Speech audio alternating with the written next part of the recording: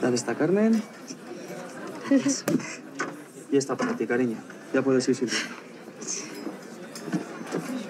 Bueno, señores, ya estamos por aquí.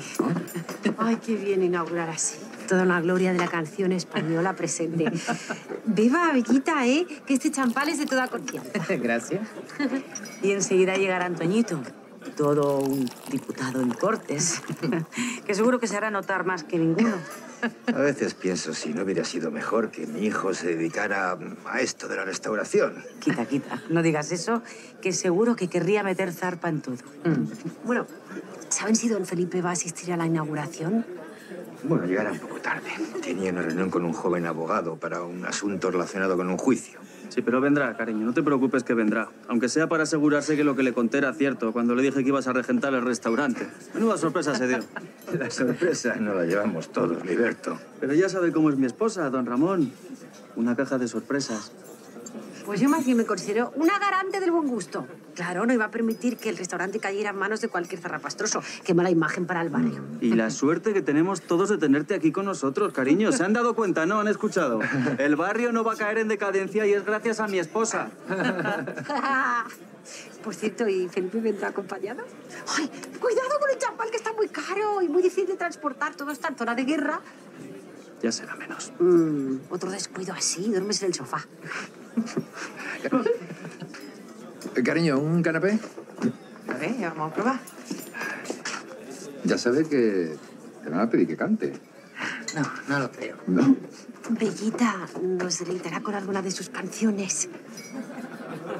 Hoy el protagonismo es suyo. Pero quizá más tarde, quizá. Vamos. Ay, por cierto, Bellita, esta mañana Lodia se pasó por la mantequería a comprar y Lolita me ha dicho que le ha notado un poquito de caída. ¿De veras? Sí, tenía mm, una alergia, creo. Bueno, pero venga, lo importante. ¡Atención, señoras! Mi socia Carmen va a decirnos unas palabras. Muchas gracias, socia. Y muchas gracias a todos ustedes también. Sé que preferirían seguir bebiendo champán antes que escuchar a la propietaria, pero quiero agradecerles de antemano toda la confianza que esperemos van a depositar en nosotras. Sé que nos enfrentamos al reto de estar a la altura de todos aquellos que se hicieron cargo del restaurante antes que nosotras. Pero para no defraudar a los que nos precedieron y, por supuesto, a ninguno de ustedes, prometemos poner toda la carne en el asador. Carne de la mejor calidad, he prometido. Se lo dice una servidora, la copropietaria del nuevo siglo XX. Será un gusto verles venir a comer, a cenar o a tomar el aperitivo. De hecho, será un gusto ver cómo se gastan las pesetas.